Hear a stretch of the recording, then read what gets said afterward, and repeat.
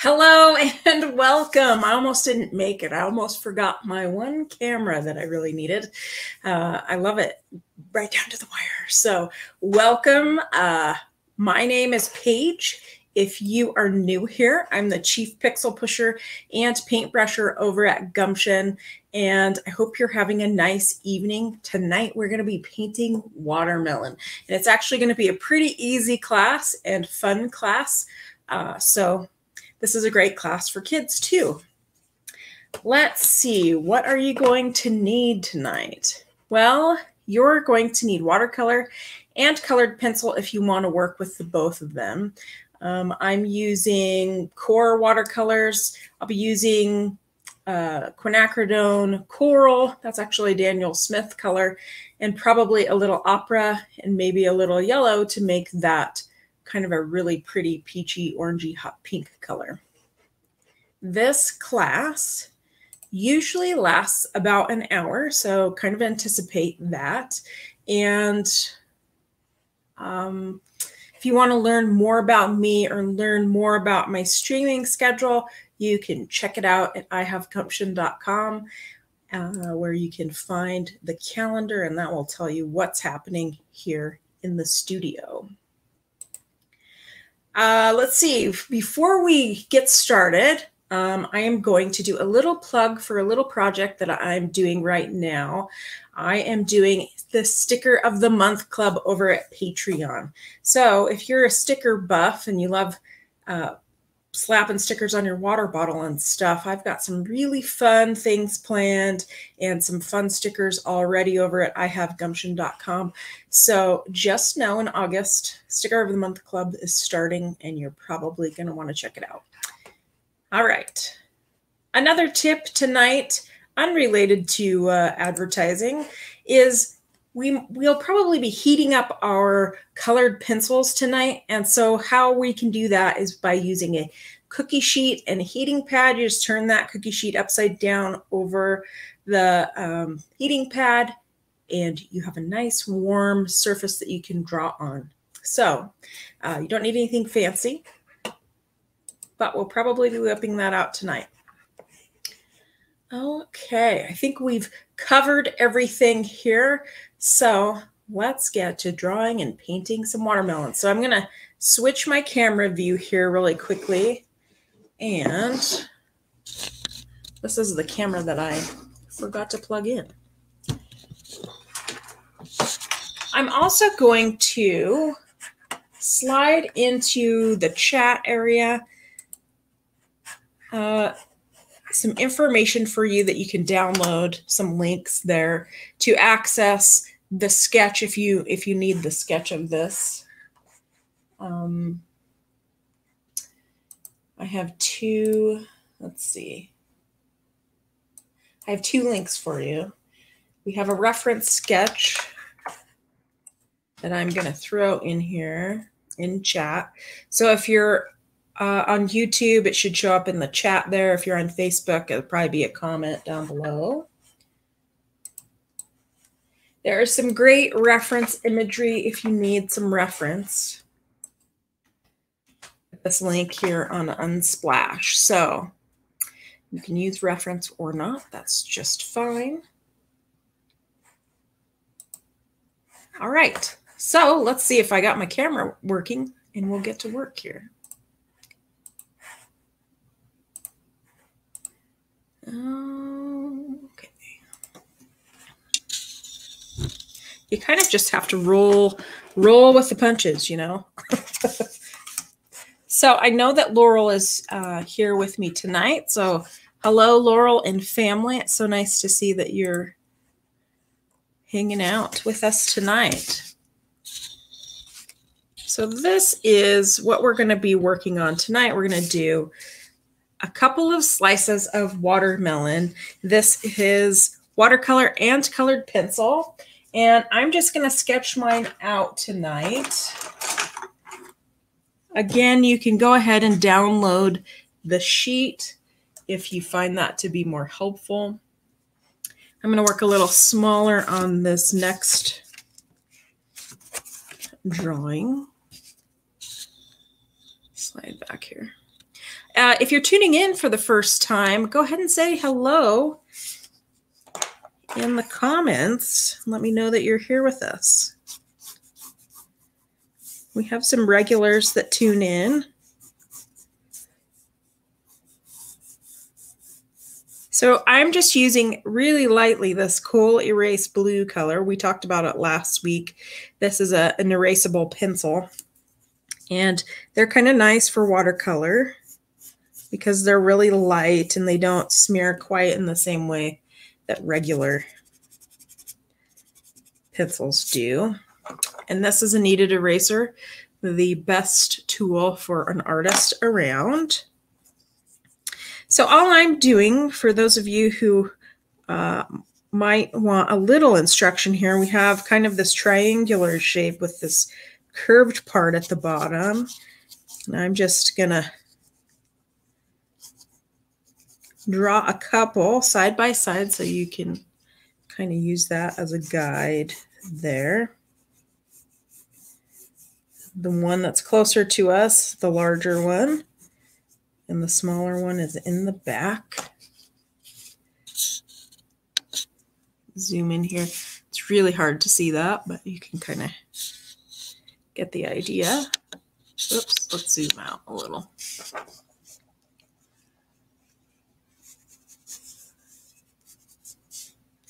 And then the thing, we'll have to sketch in the rind. Of course, I know you're all familiar with watermelon here, so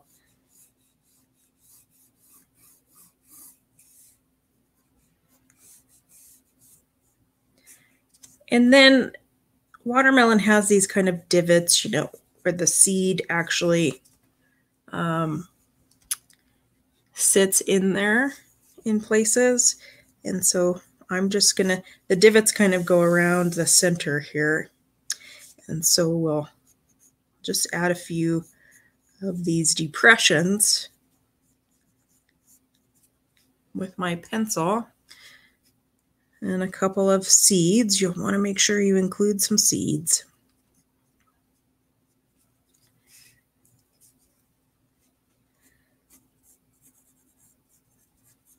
I don't know. You know, I just love watermelon because it's so refreshing, right? And it's a summer staple. And I thought it would be a, fun thing to sketch and paint because it's perfect for summer.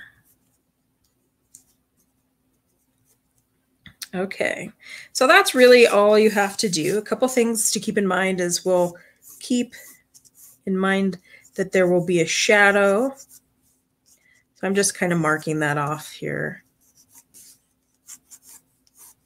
Because this is where the rind sits on the table. So we'll just want it to butt up right there. And then just like here, this one's a little bit easier to see. And then I'm going to put some seeds here.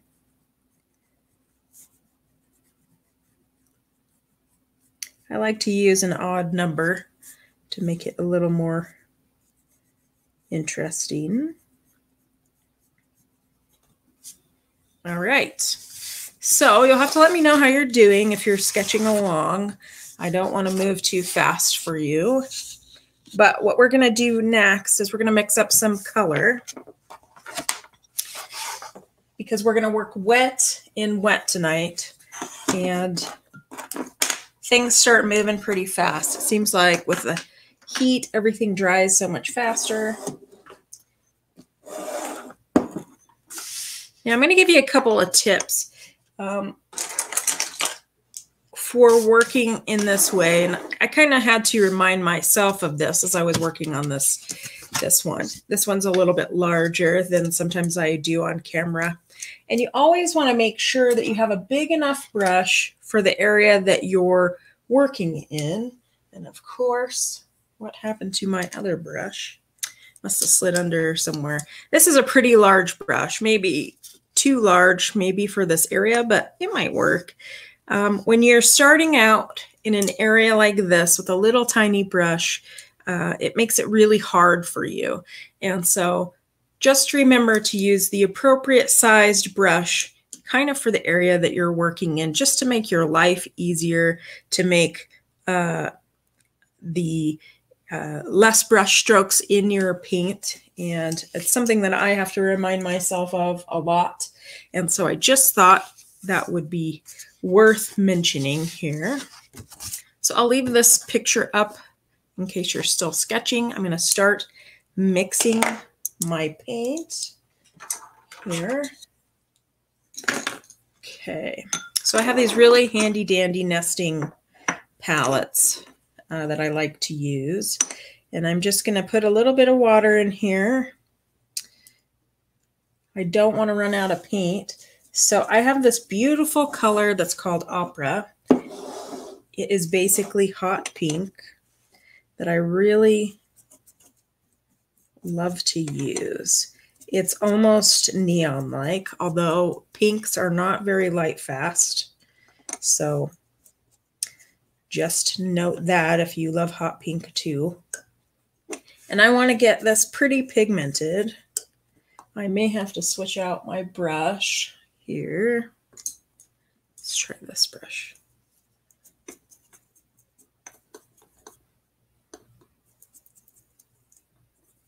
This is a Daniel Smith color.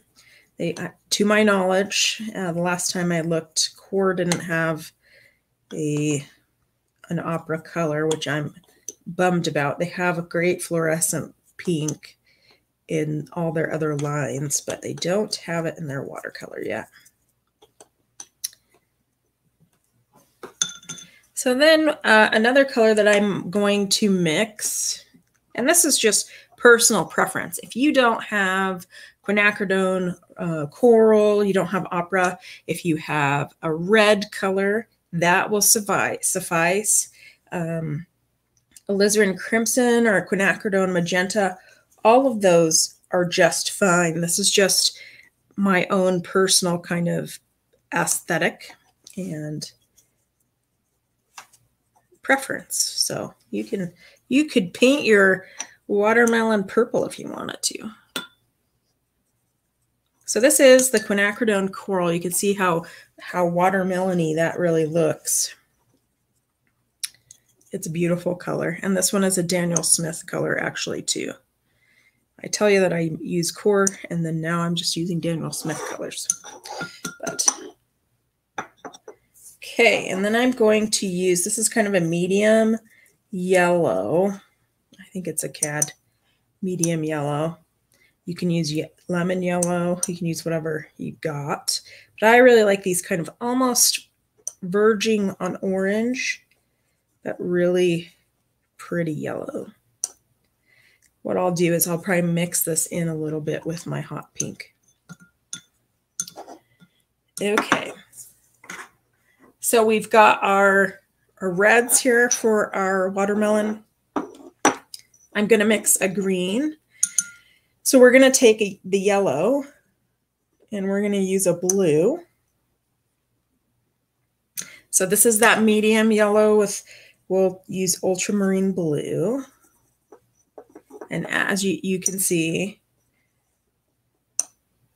depend the green really depends on how much blue you put in there.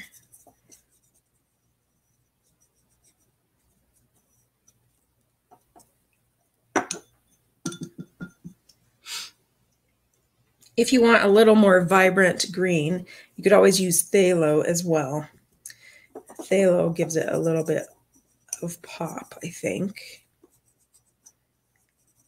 Or even a cobalt teal you could probably add in there. This looks kind of like olivey kind of green. I might just bump that up a little. You can see here, this is with phthalo phthalo blue and it, it kind of bumps it up into the green realm a little. Okay, so that's probably good enough for now. So I'm just going to stack these up because I can to demonstrate for you. I'll be flipping them out here in a minute.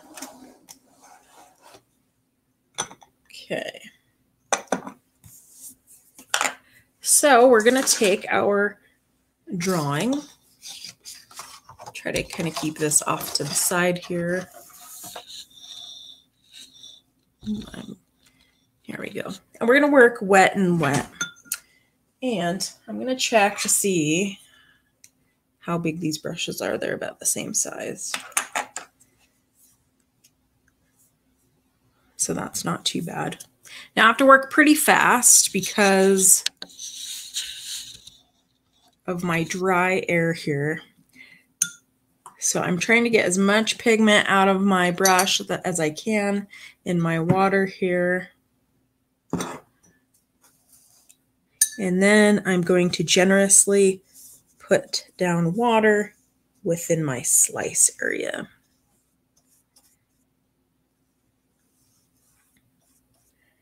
And we may have to do one of these at a time so they don't bleed into one another. That would probably be smart. And I am going to start, I think, here with the green and tap in the green down here at the bottom.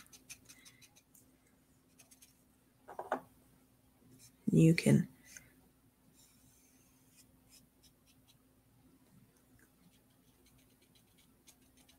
just tap it in there and it can lightly blend and I kind of just add a little bit more down at the very edge where the rind would be.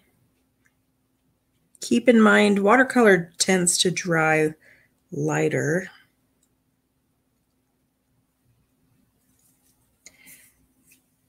So while that's spreading, I'm going to move into my pretty colors here.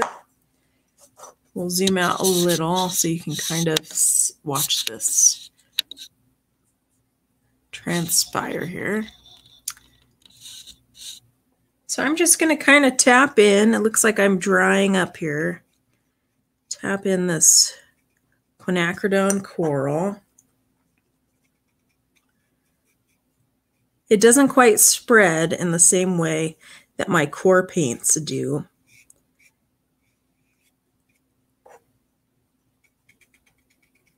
I'm trying to move kind of fast here. And we've kind of, I've sketched in kind of the area where the meat of the watermelon touches the rind. I'm also tapping in some of this pretty opera color.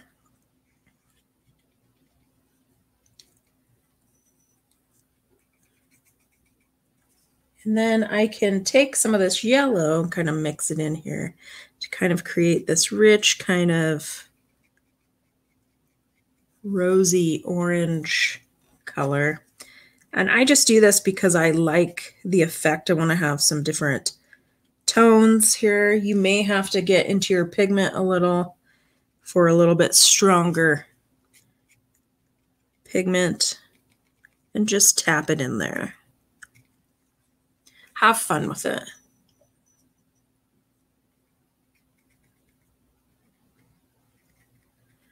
Now, one thing you might need is a hair dryer for this to dry this. You can already see I've got some pooling here where my paper is kind of warping. It will flatten out again. But what's great is you can kind of see how this color is mixing down below. And that's really like what it does uh, in a watermelon.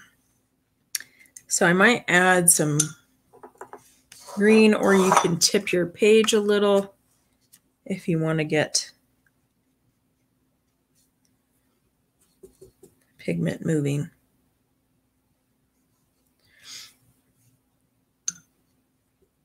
The other thing that you can do, and we've talked about this a little, but you can take a dry brush and pull out color. So we have some light that will be hitting these divots where the seeds sit. And you can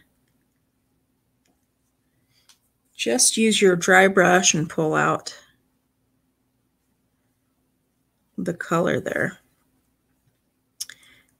Kind of keeps filling in there just a little bit, but this is a great trick that can help you fix a multitude of sins.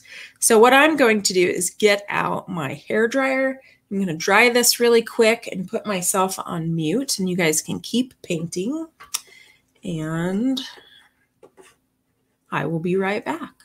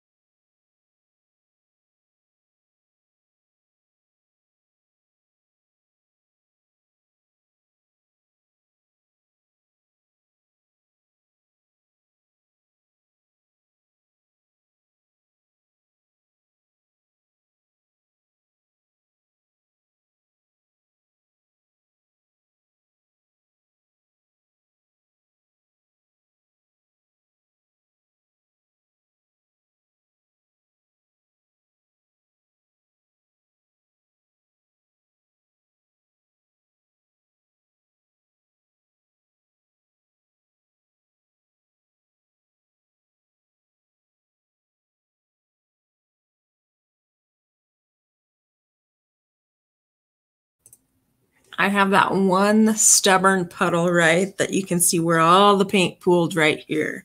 But you can see this nice effect that actually happens here while working wet and wet, where these colors kind of blend together and create these fun effects. Of course, we have some, if we can get a little focus in here, there's some nice granulation and separation here.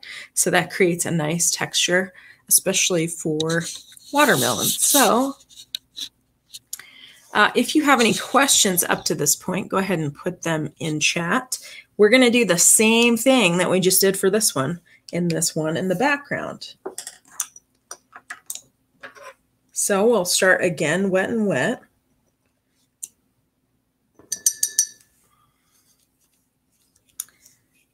And you'll really want to make sure that your other slice here is dry. So we don't have any inadvertent blending.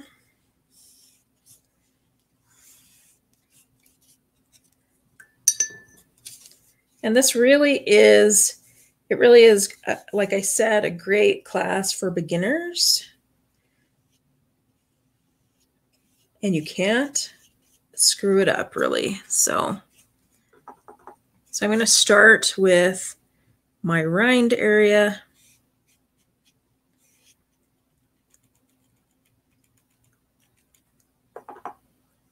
We're going to, it's supposed to be a little bit darker here at the rind.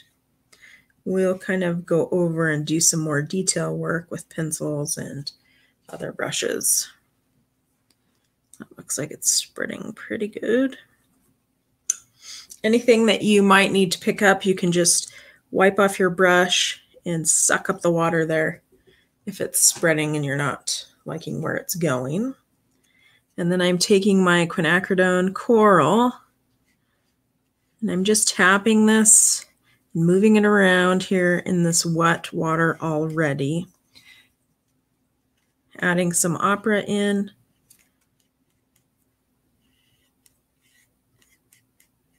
And this is pretty light, so I'm going to want to get some more, tap some more of this pigment in here.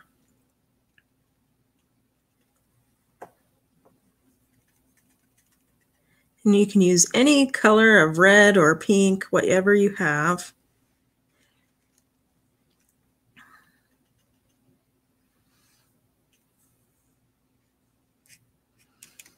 Of course, you can see this is kind of blending in down here, but I'm not going to panic here. It's kind of the beauty of watercolor. It's unpredictable and I guess the one predictable thing is it's going to move.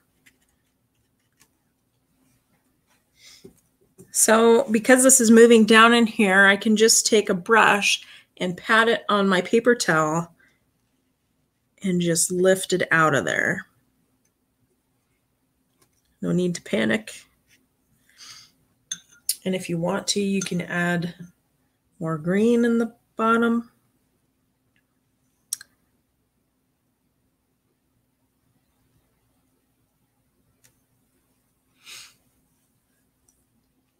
And because of how my, so my paper is warping, so it's creating a bubble here in the center of the slice. And so all of this paint is kind of following to the edge.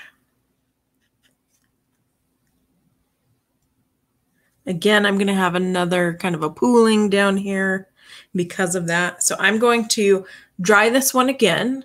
Uh, I'm going to mute myself again and you can keep painting and I will be right back.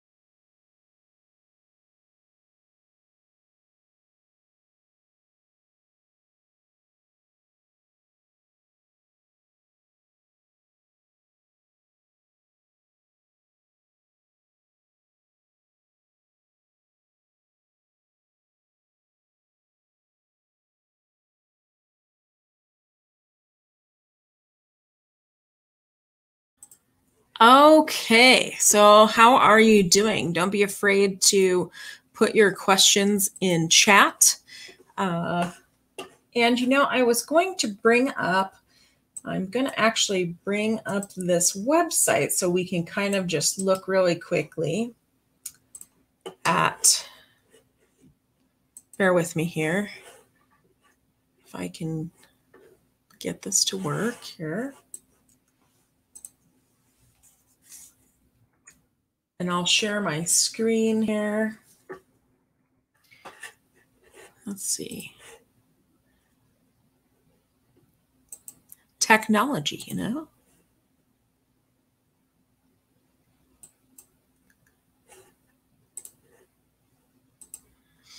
Okay, so you should be seeing this website here. There's all kinds of great imagery for uh, doing your artwork.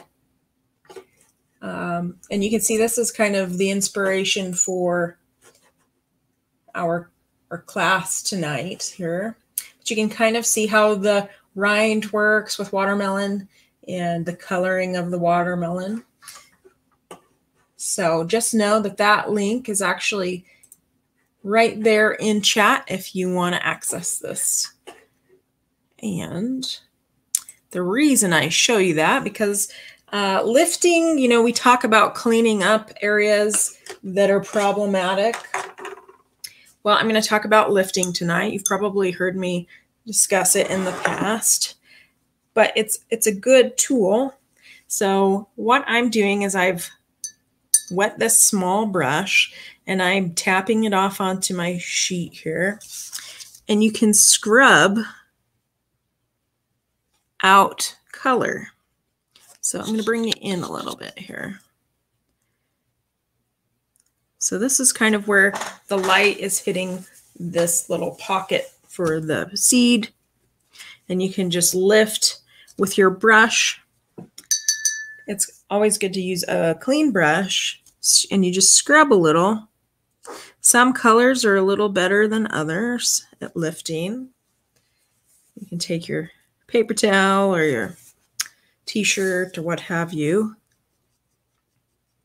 And this is a great way to create light. So we'll do it kind of on this other side here too.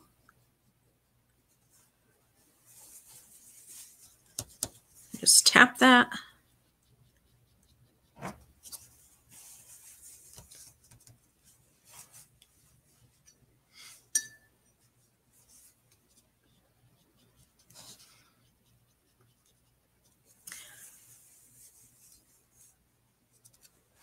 And there you can have light. Let's see, let's zoom out here a little bit. So it looks kind of funky, right, at this point. We'll add more details here, but in some areas, I'm just going to kind of work in some light in some areas. If you feel like you don't have enough color down, you can paint over it.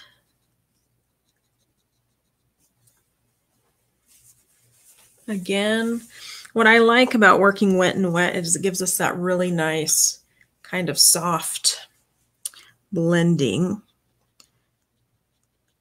And here I'm creating kind of this ledge of where this was cut.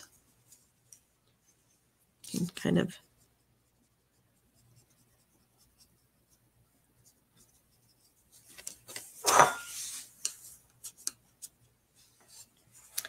All right. Okay, so at this point, I am going to put the shadows in really quickly. We will go back into detail in this, but I want to get some of the color down. So I used a color called Sodalite. This is uh, like a Payne's gray color. You could also mix a really dark purple to get this. Cast shadow. I'm just, I've wet my brush. I've kind of gotten some of that pigment out. And I'm just kind of going to do another wet and wet technique. This is really just so I can kind of gauge where this pigment is. So I've laid down some water. I can kind of tap this color here.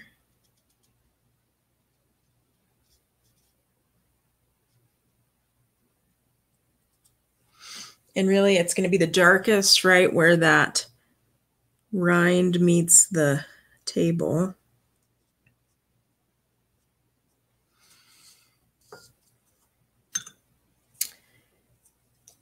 If you ever feel like your work is floating, it's probably because you have no shadows or your shadows are too far out away from the object.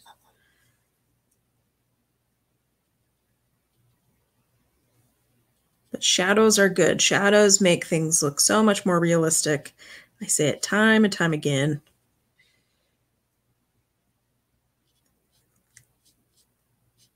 But just as important as, as light is, so are shadows.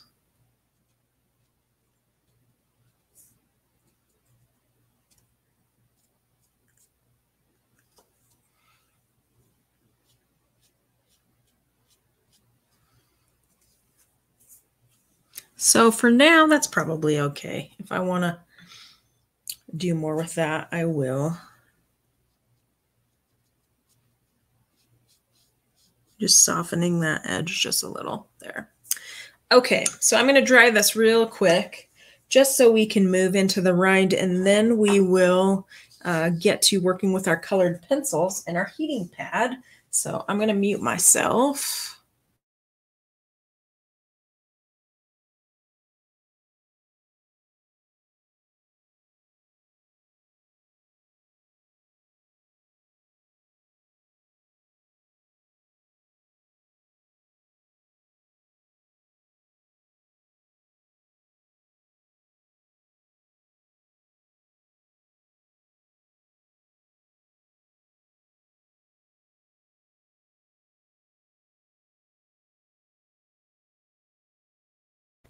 Now, truly, you can go into as much detail as you want to painting. We'll paint a little bit more, uh, and then we'll get to the colored pencil. This class may go over a little bit. We'll kind of see how we're doing here. But so now I'm going to go after my rind. And I have this great brush. This is a Trekell brush. It's a very thin, it's kind of like a, a, script brush, very thin script brush. And I love these for cleaning up edges, for adding detail. Um, and we're going to use that for the rind. The rind usually is a very thin, dark green color. We'll kind of see how this green is going to do. At the very base here, this is where you can you can really kind of lay down your brush here like you would with a pencil and it will tell you if it's going to be dark enough here.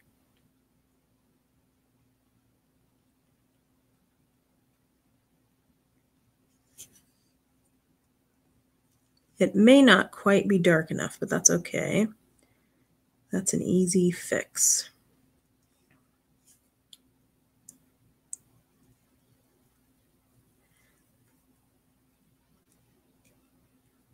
So one thing I can do is I can take this dark gray color, this Payne's gray or Sodalite color, and mix it into my green. And you can see I'm getting a darker green that way. And I can just go back in here. Sometimes you need more pigment. It's it's easier to start with lighter pigment than it is to take away dark pigment initially. And you can see my line sort of got up in there.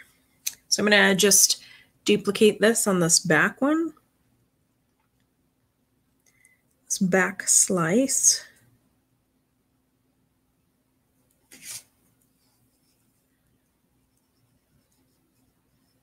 Now, as we saw in our uh, imagery there, the rind was really light. So you could leave your rind like it is here, or actually you could kind of burnish out some lighter color. So we'll try it on one of them and see how, how it looks. So I've taken my brush, I've got in water. I'm going to scrub this area a little.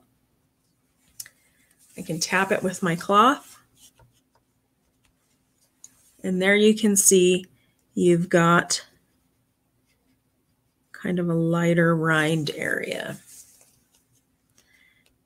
And it doesn't disturb the pink color too badly.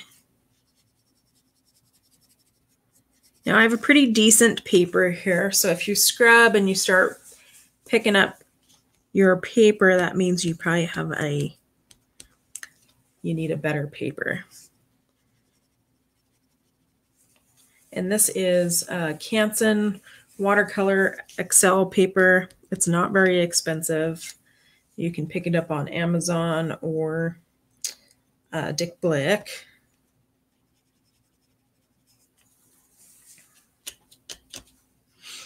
All right, so that looks pretty good, right? So maybe uh, I'm liking that. I'm going to do it over here too, just where this rind area is. So we're just gently lifting.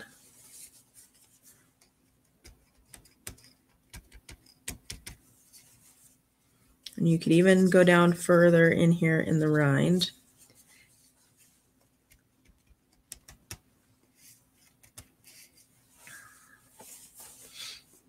So it's starting to feel like watermelon. Now, of course, you can continue to paint in your pinks. We're going to do a little with our areas where our seeds sit normally. And I'm not sure. I always rub the numbers off of these. So this is probably, I don't know, a five or a six maybe. I'm just going to tap in here, you can make a little bit darker area. This would be where it's recessed in there and the light's not hitting it.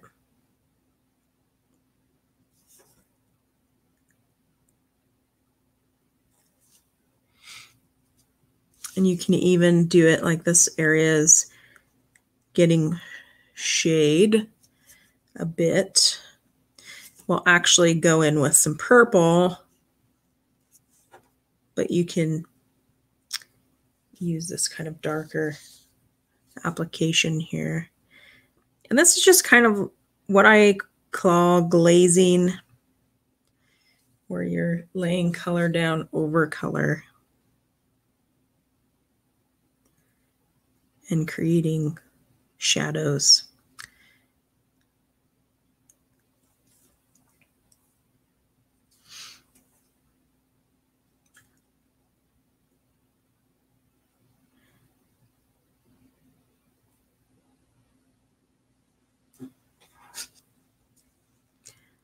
And I think I'm going to go along this area here to will help me kind of define this edge a bit as well as create that kind of shadow.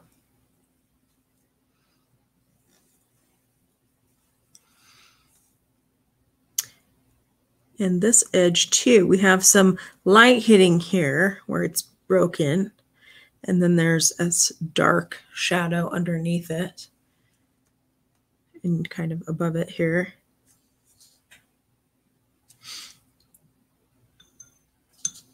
Okay, so it's we're starting to make headway. Of course, at this stage, you can continue to add more paint if you want to. I'm going to add some of our dark seeds because once they start kind of coming into play, it will kind of start coming together even more. So I'm going to use this Sodalite color. You could use a dark purple. You can use a black. or a dark blue. So I'm going to paint in all of my seeds that I have hanging out. And I'm going to have, going to tap in some darkness around the bottom of the seed. So we have a bit of a shadow if, if we can get one at all possible.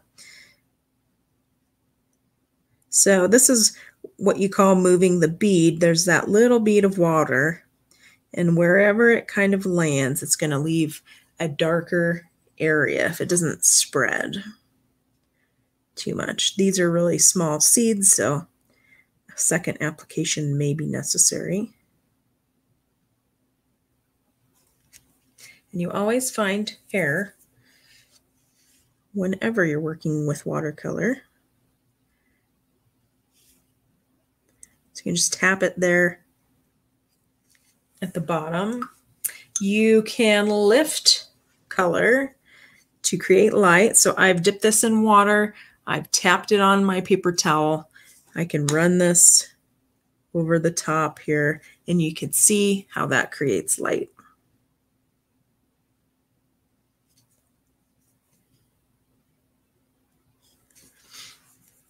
Okay, now we're going to add some seeds in the watermelon itself. You might have to kind of move your page around. So this one, I'm just going to add kind of this base layer of color and go back in. Let's see, I can scoot this up a little. Again, if you have any questions, go ahead and feel free to throw them in chat.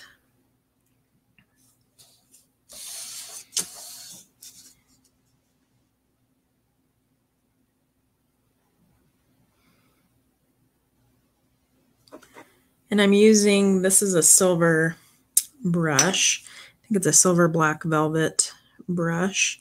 I use Trekell brushes and then I also use these silver brushes. The silver brushes are really great at keeping a point.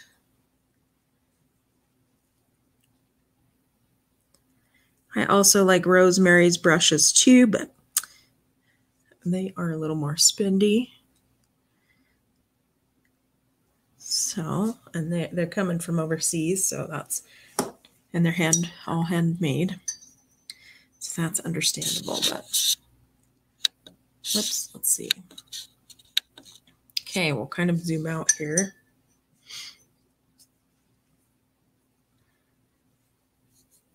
So you can kind of let these dry and then go back in for a second application. You could add a shadow underneath your seeds. If you want. Or paint the side of it to there and create a little shadow light. Let's zoom in here, kind of see.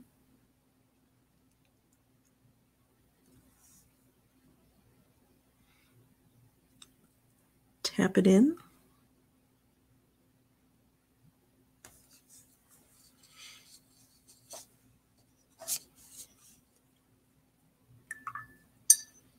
Okay.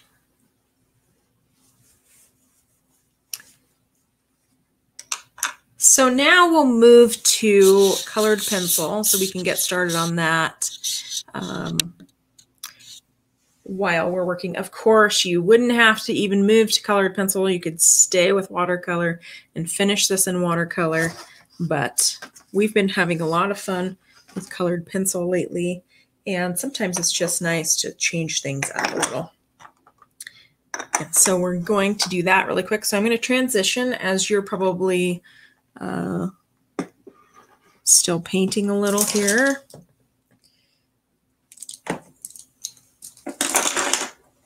And I will be back with my new equipment. So I'm just going to move some of my water out of the way here.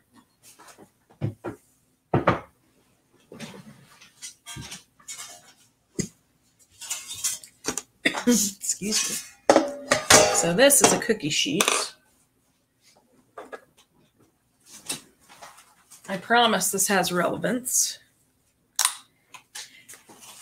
Okay.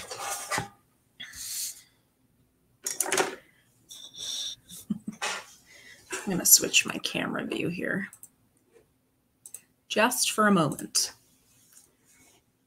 Okay, so in one of my former classes, we talked about using the Icarus board for heating colored pencils. And so if, if you're new, this is what this is all about. The Icarus board heats up mildly warm, and then you can take your colored pencils, your Prismacolor pencils or a wax-based colored pencil, and it will melt the wax just enough to kind of make it burnish a little bit nicer.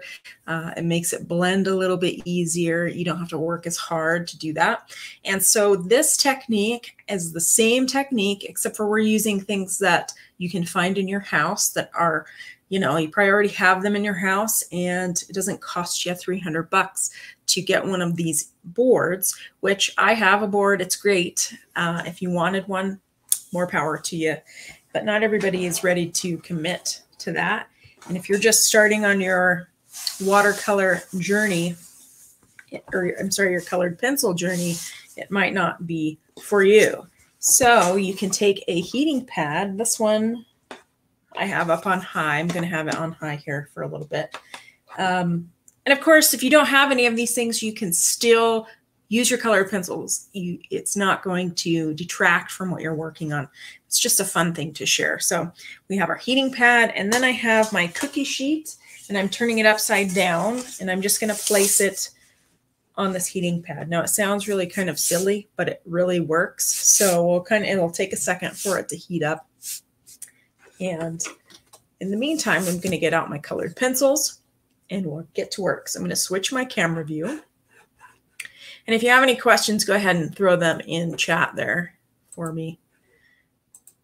I think this is a pretty fun, pretty fun technique. Oh, that's the wrong camera. Check out my messy office, guys. All right, here we go. This is right, right view. So this is the cookie sheet. And then I, I actually separate out my colored pencils in a uh, an old container for silverware. It's actually really handy. I'm going to scoot this over here to use. So keeps them all organized. You can put them in a, a drawer really easily.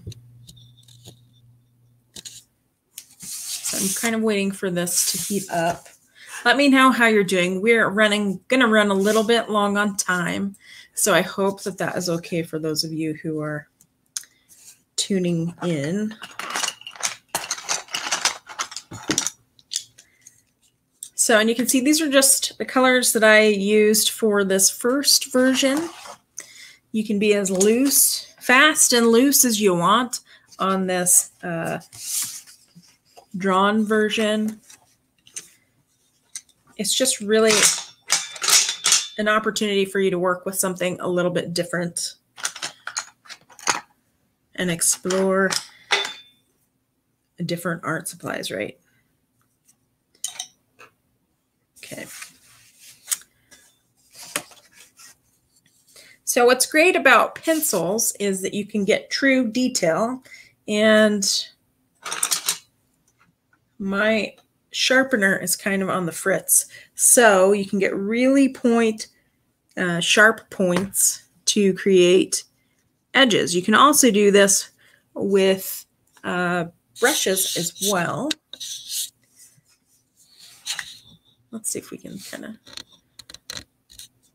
I got too many things on my desk. I need a bigger desk.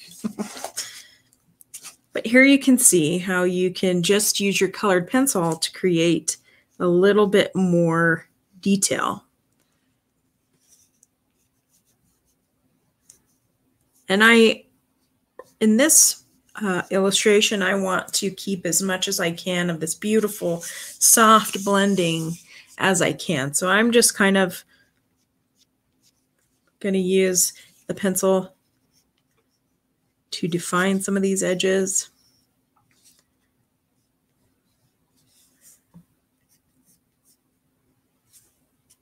And you can kind of see how that. Now what I like to do for my shadows, I kind of go by the rule warm shadows or warm light, cool shadows, cool light, warm shadows. So what does that mean? This is a cherry. This is a black cherry. It's kind of a purple color. And that helps kind of define this area and it is a cool purple. You could also, one technique I like is kind of this cross hatching with colored pencil. Just little lines next to each other.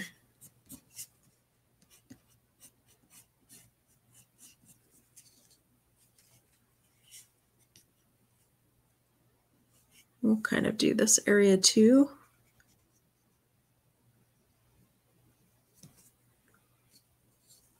But then you can see by cleaning up some of these edges, it starts giving this a little more definition and making it kind of look more like a piece of watermelon. So I'll kind of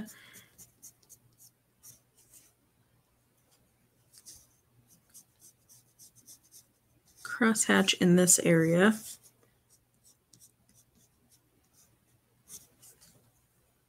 And then I'll demonstrate here. Let's see. Oh, it looks like we have a comment here. Right on. So Laurel is right with me. So I'm glad that means I'm not moving too fast. So what you can do is you can get a number of different kinds of colors that are similar to your watermelon color. I truly kind of have gotten into the habit now of really testing to see what these colors really will look like next to the watercolor. It's kind of a, a safety thing if you're planning on doing something with your color here. Now you can see we had this pooling here. And so in order to fix that, I can just kind of color in this area if I want to. I might want a different pink color.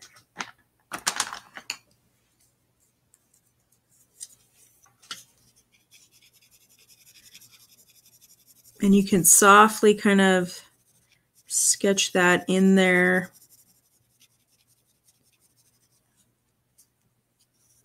If you want to, or if you really want to fix some areas, you can go to town.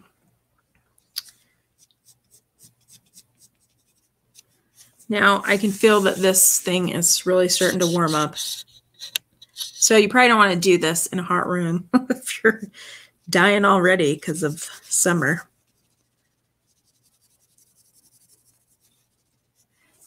But you can kind of see where I've gone in and I'm adding this color now.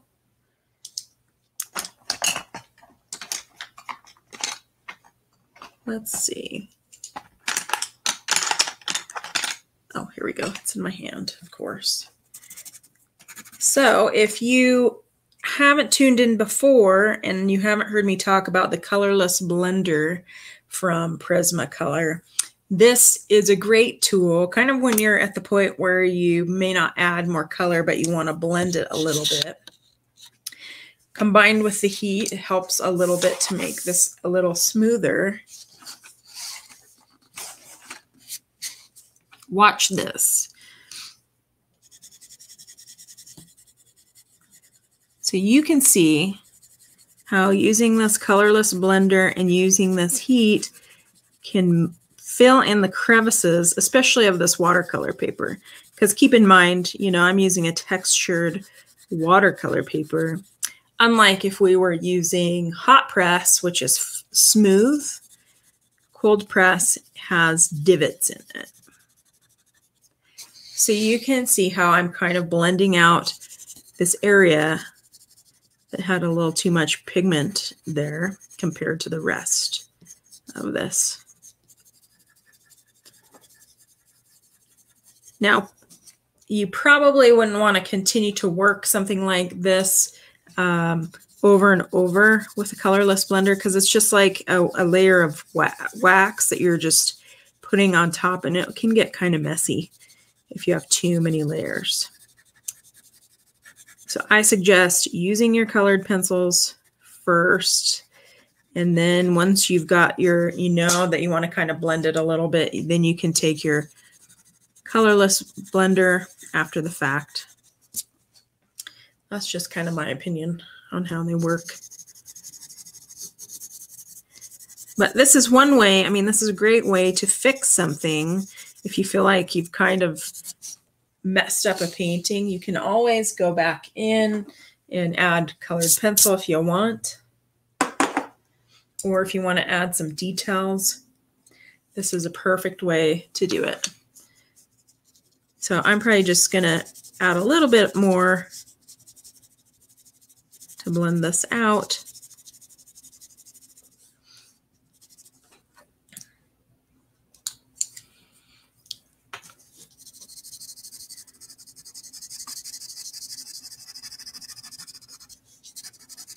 Now, if I were just doing colored pencils, I would use Bristol paper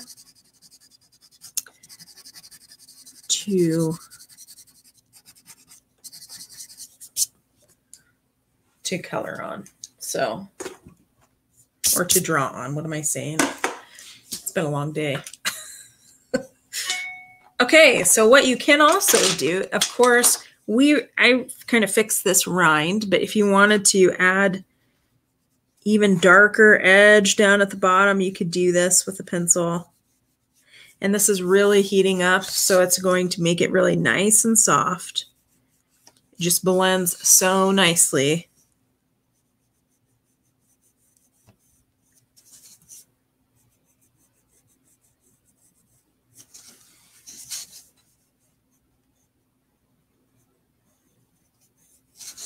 Now, I guess the question, since I know Laurel is here with us, uh, Laurel, have you tried the heating pad technique yet? And if you have, what do you think of it? Now, you'll see me using this. I'm going to zoom out.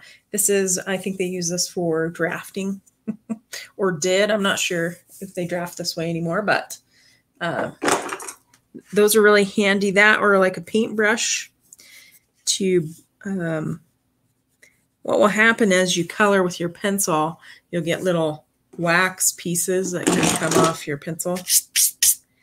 And they can make a mess sometimes.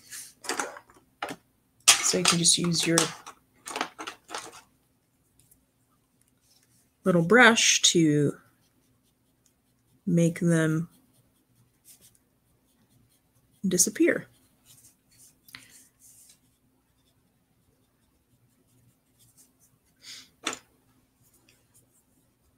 So now there's a really kind of starting to look like slices of watermelon. You can continue to add color or detail like I might add a little bit of a line.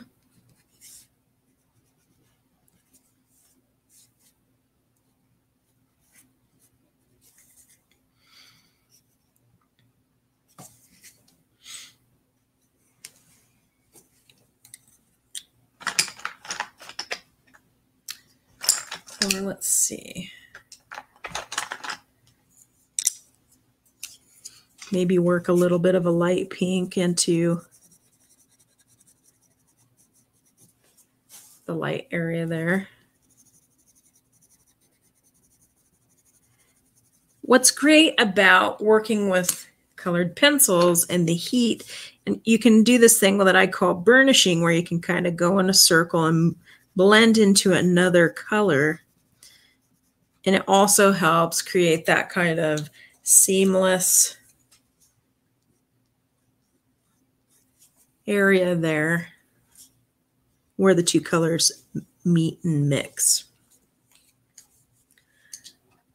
So when you are at a point where you're all done and you've added all your color here that you really like, uh, you can add your highlights and you can use your white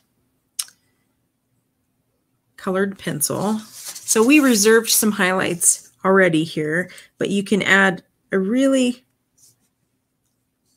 catching highlight with your white pencil. So you could do it in this area maybe, but where it's really going to show up is on these dark areas where we have these seeds.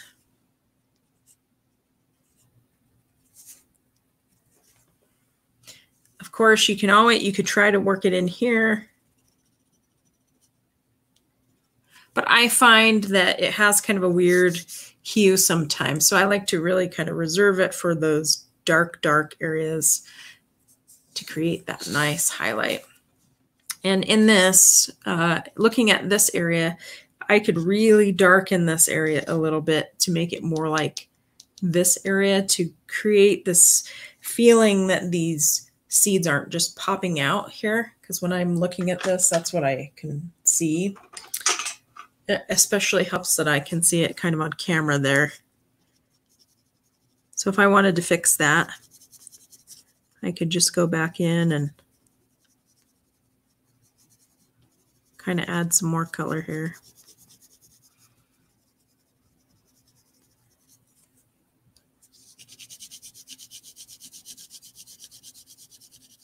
And I'm just lightly sketching in here. And that will kind of help ground them a little.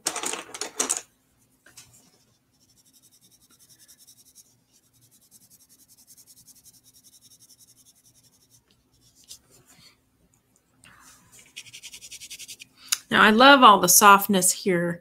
So for the sake of time and for tonight, I will not go crazy here. But it's good to be able to kind of step back from your work and kind of observe. Critiques are always kind of tricky, especially as we are sensitive souls and we're putting ourselves out there to do artwork. But if you want to improve your skill, you just have to be able to step back a little and and look at it.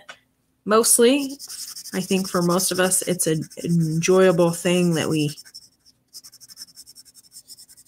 just enjoy spending time doing. So I'm just kind of extending this color out.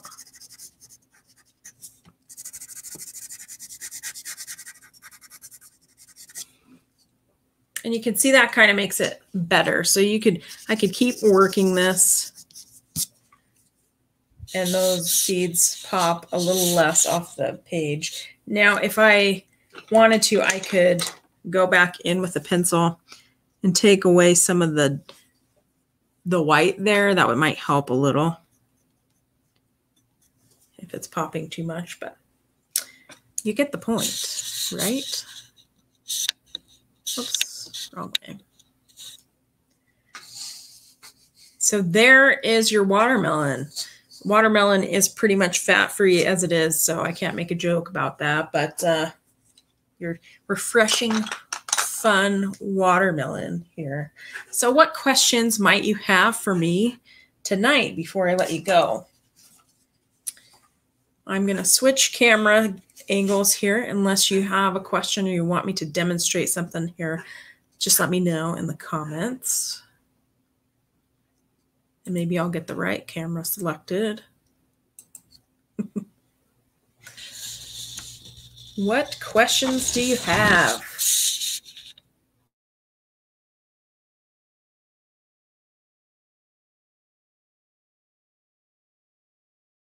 Oh goodness, hopefully my mic hasn't been muted that whole time. I don't think it has, but you never know. You know, if something's going to go awry, you know, it's going to happen live. So, what questions do you have for me? Go ahead and put them in chat. Um, again, thank you to my Patreon subscribers. You help make this happen, and uh, I appreciate you. So, thank you for your support. And there we go. Thanks, guys. And if you want to become a Patreon subscriber, you certainly can. All you have to do is go to patreon.com forward slash gumption. You can be part of the paint club or the sticker of the month club. Uh, if you're in the paint club, you automatically are now grandfathered in to the sticker club. So just know you're going to be getting stickers, folks.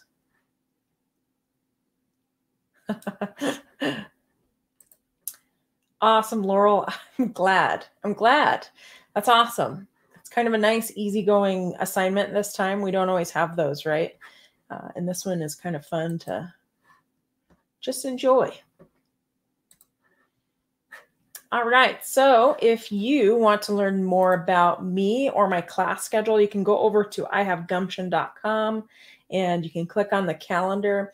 I think in a couple weeks, the 29th, I won't be doing a live class. I've got a couple meetings that night and they're just at the same time. So we won't be having one then. And that is on, it's reflected on our calendar now. But I'm here on Thursdays. And then once a month, we do a live Zoom class where you get one on one conversation with me. We're talking about an assignment, we're doing an assignment together. And uh, if you want to be part of that, then you can go ahead and go over to patreon.com and I'll throw that up here. Maybe. There we go. All right. Well, I hope you're enjoying your summer. I know it seems like it's going really fast and it's really hot, but uh, it's been a good summer so far. And uh, hopefully we can travel here in the fall where it's a little bit cooler. All right. Well, I don't see any additional questions, so I'm going to let you go so you can go enjoy the rest of your evening. But thank you so much for being here with me and painting with me. I hope you learned something new. And if you did, let me know in the comments below. And if you are brave and you want to share your artwork with the world on Instagram, find me at I Have Gumption and tag me. I'd love to see your work. So thank you, and I will see you later.